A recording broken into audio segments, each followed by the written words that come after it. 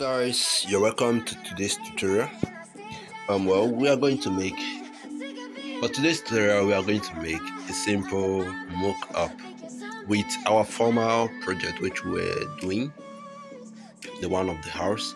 So if you are here to watch the video you check the description. You'll see the video link there on how to create it from scratch. So but i'm going to leave the file. That is the profile that is the file which i'm going to use here in the description as well if you don't have time to go through the lesson you can as well use that one. so first of all let's go without further ado let's jump into it. Go to gallery and import it. you don't ever want to give me I'm okay, this is the image. I will shorten it. a little. So I bring it in. I'm okay, this is the shape. So what I'll just do, I'll come to 3D rotation and then I'll rotate it up to this. Just after that I will say I'll try number to use. Okay. Keep it to this level and then you take this down a little. No.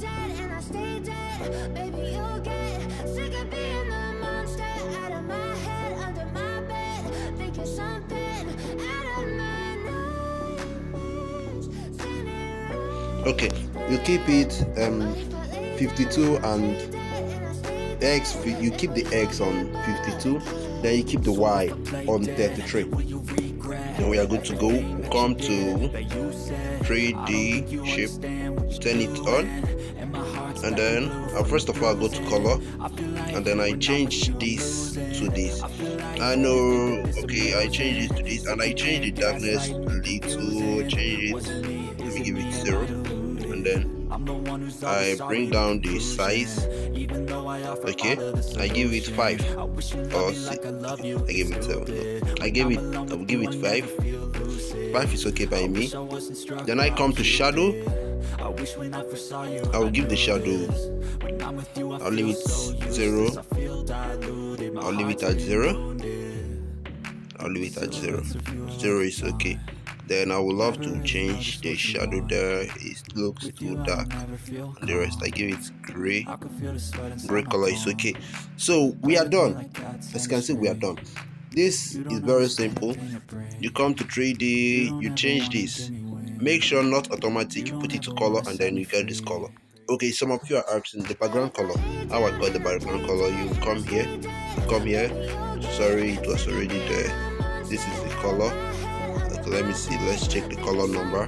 This is the color number em e7d ect that is the color we used.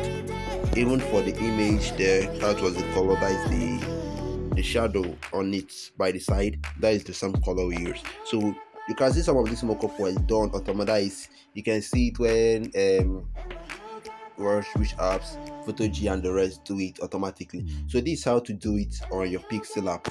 So without further ado i promised i will leave a package for you in the description. So you watching this video you can see the, the package that i left in the description. So you can use it. And play it's not mine. One of them they are not mine.